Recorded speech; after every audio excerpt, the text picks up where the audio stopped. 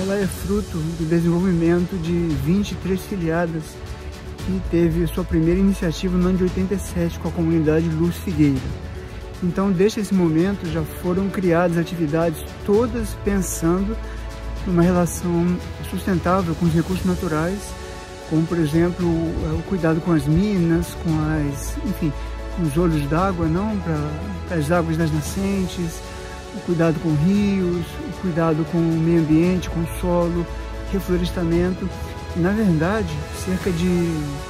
80% das áreas são destinadas para, para a preservação. Nós pegamos uma, uma, uma porcentagem do total das áreas de figueira e somente uma parte é utilizada para, para cultivo. Então, desde o início, em 87, a comunidade figueira ela tem esse princípio de autossustentabilidade que inclui várias atividades, como veremos em seguida.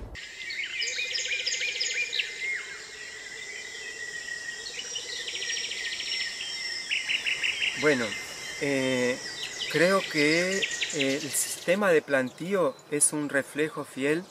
a cómo la comunidad y cada uno de nosotros se va afinando a una conciencia ecológica, ambiental y consciente con respecto al planeta. Entonces, cada vez que nos encontramos delante de estos desafíos, eh, procuramos contemplar eh, y visar no solamente la necesidad de producción, mas también una postura equilibrada a que al mismo tiempo que producimos los granos que la comunidad necesita para consumir, podamos generar un sistema de planeamiento que pueda regenerar, organizar y devolver a la tierra ¿no? los nutrientes y las necesidades para que ella pueda mantener sus ciclos de vida natural. De esta forma, cada vez fuimos conducidos de una forma más fiel, más, eh, más luminosa, digamos así,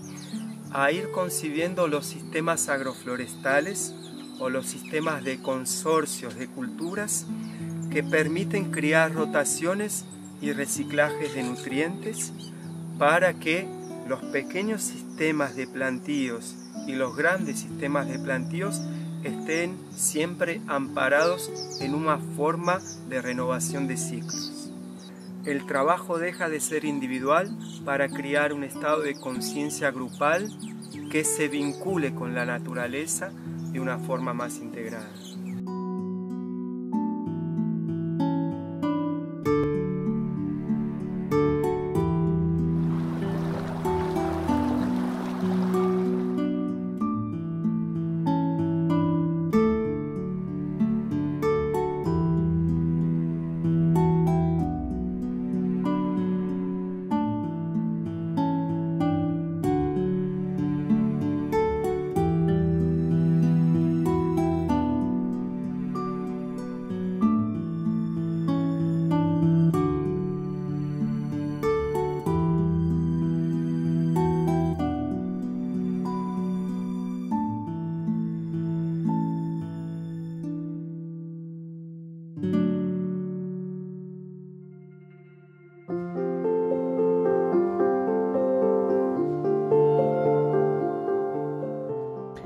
Dentro do campo humanitário e social, nós cultivamos sempre além do que nós necessitamos, para que esse excedente de colheita, essa previsão de colheita, já venha destinada para doações espontâneas, não, sem fins de lucro, são doações para vizinhos, para comunidades carentes, para indivíduos que têm necessidade.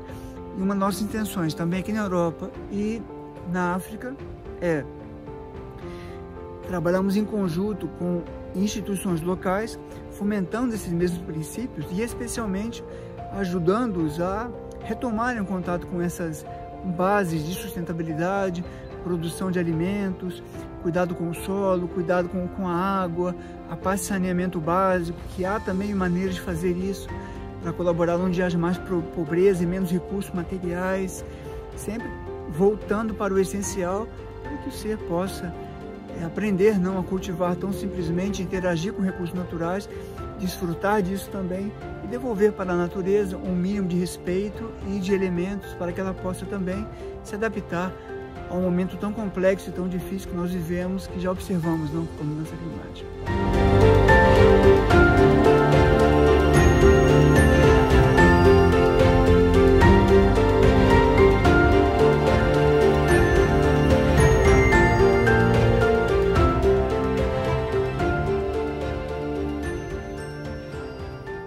De, este, de esta pregunta nos podemos encontrar en un punto de definiciones, en un punto de toma de conciencia y en una condición a mudar de alguna forma nuestros hábitos. Porque para que podamos posicionarnos en un principio de equilibrio, en una conciencia humana que participa a ayudar a toda la naturaleza, tenemos que también pensar en cómo que estamos construyendo nuestra vida y cómo que ella está siendo alimentada. Claro que por decorrencia también viene la reflexión cómo que está siendo nuestra alimentación material. Y si nosotros, desde nuestra pequeñez como niños, estamos siendo conducidos a tener contacto y a relacionarlos con la naturaleza, con la tierra, con la producción de alimentos, para que podamos reconocer que todo aquello que nos supre, que nos nutre, que nos alimenta, no viene de una forma artificial, sino que la propia naturaleza genera y que ella nos convida a que participemos de una forma más consciente.